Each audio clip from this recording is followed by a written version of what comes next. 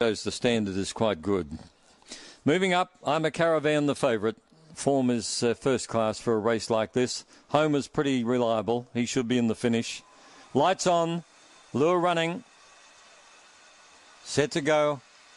Racing, jump with the I'm caravan. Oh, perfectly uh, railing through and will show out early from in second place Ruby's Willow. Getting along the inside, Destiny Montana.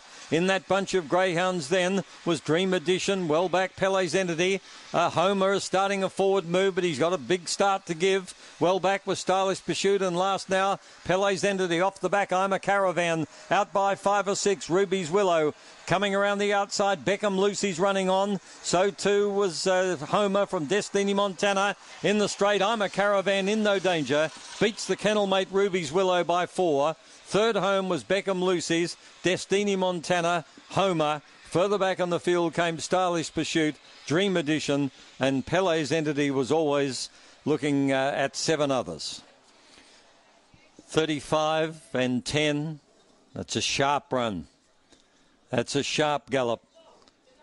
I'm a caravan, straight to the front, and never in any danger. One, four, Six gets third, Beckham Lucy's. And probably seven, I reckon, for fourth. Yep, one, four, six.